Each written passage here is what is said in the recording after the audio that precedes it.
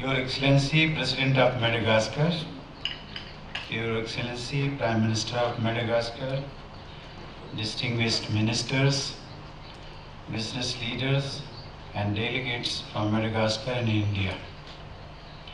I am delighted to be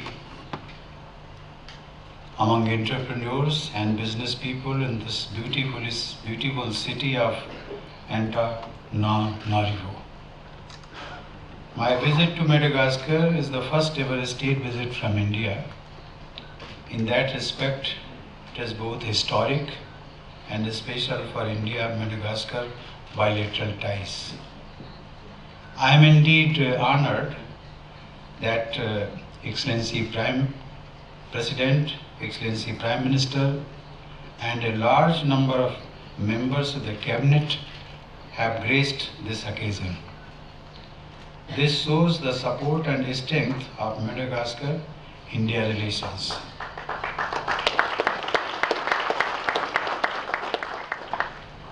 In today's world, economic partnership is one of the most important pillars driving the engagement between any two countries. This is also true for India-Madagascar relationship. I am happy that we have organized a joint India-Madagascar business seminar to enhance our economic connect. I am pleased to see a large number of business people from Madagascar in this audience. I am also pleased to see a large number of entrepreneurs from India here. This is a very encouraging trend. Both our countries have had trade relations that go back several centuries. It is time to revitalize the old business network. There are many opportunities awaiting us. India is on a fast growth trajectory and Madagascar seeks investment and expertise. We both can partner each other.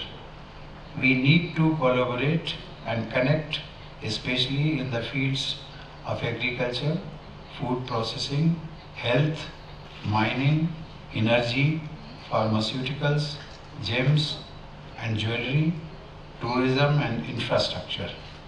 The blue economy also offers several opportunities for us to work together. I learned that Madagascar was once the granary of the Indian Ocean it can reclaim that glory. India is ready to bring in knowledge and expertise to help the Malagasy farmers. We have also extended a line of credit worth US dollars 80.7 million for agriculture development in Madagascar.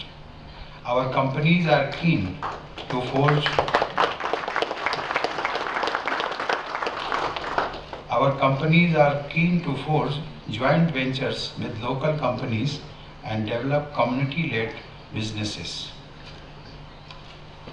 Another sector where there is a great potential for strengthening business collaboration is the precious and fine stones segment.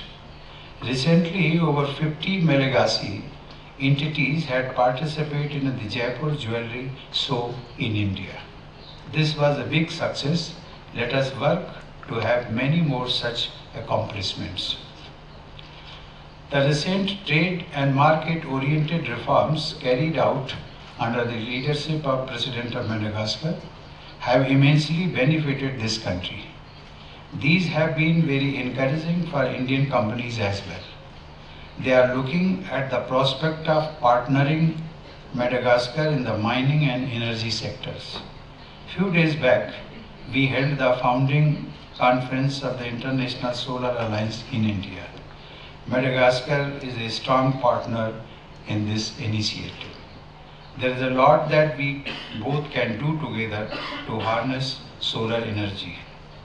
Indian capacity both in public and private sectors seems to be a natural fit in President of Madagascar's domestic solar energy initiative. Coming to exchange of goods, India-Madagascar bilateral trade stands at US dollars 340 million. This is way below potential. I would urge the Malagasy exporters to fully utilize the duty-free tariff preference scheme extended by India. This would give a boost to your exports. During the third India-Africa Forum Summit in October 2015 in New Delhi, India earmarked US dollars 10 billion for diverse projects in Africa. We look forward to working with Madagascar to identify projects for utilization of these funds. There is a great potential for the growth of economic cooperation beyond government funded projects as well. In this endeavor, today's seminar will go a long way in identifying business prospects and potential partners for both sides. Ladies and gentlemen, today we are marking, making a new beginning in our partnership. Let us work together to make our business engagement a defining chapter in it. I wish all of you a day full of deliberations turning into real business prospects. Thank you.